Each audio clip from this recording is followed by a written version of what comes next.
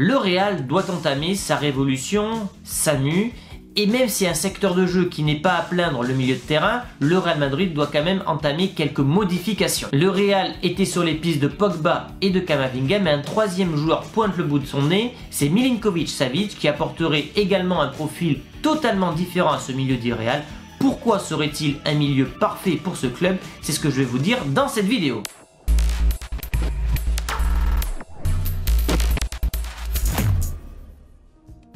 La vidéo est sponsorisée par OneFootball, vous le savez, c'est l'application numéro 1 sur le foot. Vous retrouverez absolument de tout dessus, les statistiques, les résultats en live, les articles personnalisés en fonction du club que vous suivez. L'application est gratuite, le lien en description. C'est un joueur qui est chaque année ou chaque mercato annoncé dans les plus grands clubs européens, Real, PSG, Man United et même la Juve, mais c'est finalement un joueur qui reste à la Lazio, qui est devenu le lieutenant de ce milieu de terrain et pourquoi il intéresse tous les grands clubs européens? C'est parce qu'il a un profil totalement atypique. On parle ici d'un gros bébé, 1m91, il dégage une puissance énorme dans un milieu de terrain, et malgré ce gabarit imposant qui apporte un volume physique à ton milieu de terrain, il a ce côté technique, cette lecture du jeu qui en fait un milieu de terrain totalement complet. Qui dit grande taille dit une efficacité, un apport supplémentaire, un danger supplémentaire sur les phases arrêtées, que ce soit défensive ou offensive. On sait par exemple qu'un Cristiano Ronaldo ou un Benzema sont très utiles sur les phases défensives, notamment sur les corners. Milinkovic-Savic pourrait apporter une sécurité supplémentaire de ce côté-là, sans compter les buts qu'il pourrait marquer de la tête sur les corners ou sur les coups francs. D'autre part, sa taille permet de couper des trajectoires, d'annihiler des tactiques adverses, d'être là sur les seconds ballons. Bref, sa taille est un véritable atout pour l'équipe qui le possède. En plus de ça, il est très adroit sur les coups francs. Il possède donc une palette ultra complète. Le président de la Lazio l'a souvent comparé à Pogba en termes de profil et a même dit que ce dernier était plus fort que le français et donc qu'il le vendrait plus cher que Paul Pogba lorsqu'il était parti de la Juve à Manchester United pour 110 millions d'euros. Alors comme je l'ai dit en début de vidéo, le milieu de terrain ne sera pas je pense la priorité du mercato du Real Madrid puisqu'ils ont Modric qui va être prolongé, Casemiro, Cross, que Ceballos est prêté, que Odegaard est prêté, mais on l'a bien vu, cette nouvelle génération peine à s'imposer, tant et si bien que les jeunes préfèrent partir du Real pour s'imposer en prêt plutôt que de jouer les seconds rôles au Real Madrid. Ça pose un problème de concurrence, mais surtout on se rend compte d'un point, c'est que la stratégie du Real d'acheter des jeunes joueurs n'est pas payante. Il y a quelques semaines de cela, je vous ai proposé trois joueurs pour renforcer le Real l'an prochain. Alaba qui pouvait compenser donc le poste de défenseur gauche et de défenseur centre.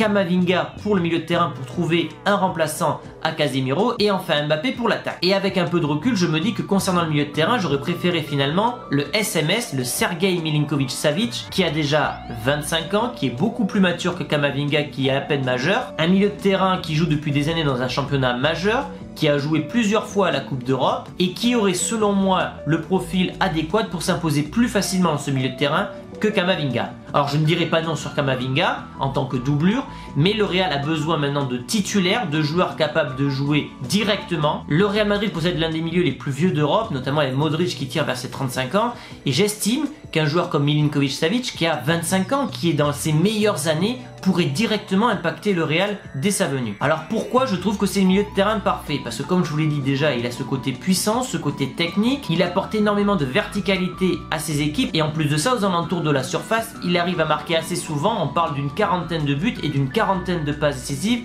donc c'est un joueur qui pour un milieu de terrain a des statistiques assez impressionnantes. Certains préféreront Pogba, moi non, parce que j'estime que Pogba est plus dans le côté marketing que finalement dans la régularité au top niveau. Et avec Milinkovic Savic, j'ai l'assurance d'une meilleure régularité que le français. Un autre atout que je trouve intéressant concernant Milinkovic Savic, c'est sa polyvalence. Il peut jouer milieu centre, mais également milieu offensif.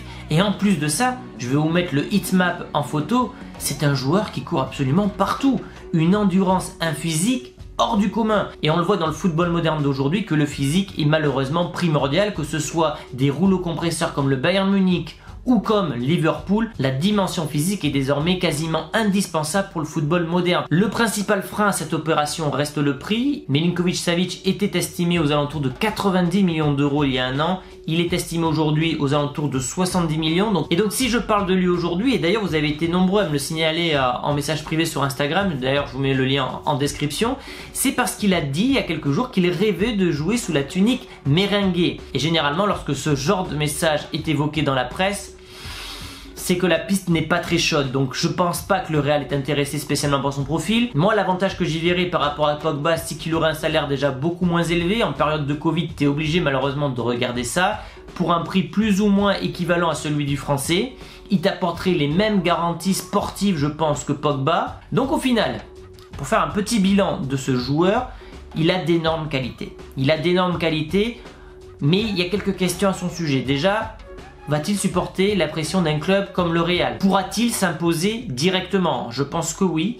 Et surtout le prix de son transfert qui avoisinerait les 70 à 90 millions d'euros. En période de Covid, ça paraît compliqué, sachant qu'en plus de ça, lui, il a un salaire qui court sur le long terme avec la Lazio. On parle d'un contrat qui va jusqu'en 2024. Le Real n'est même pas en position de force dans ce dossier pour faire pression sur la Lazio, comme le Real peut le faire avec Mbappé, Kamavinga ou encore Paul Pogba. Donc est-ce que j'aimerais l'avoir du côté du Real? Je vous réponds oui. Est-ce que je crois à son transfert? Malheureusement, je vais vous dire non. Entre son appel au secours quand il dit qu'il rêve de jouer au Real, pour moi, ça veut dire que le club n'est pas intéressé pour l'instant par son profil.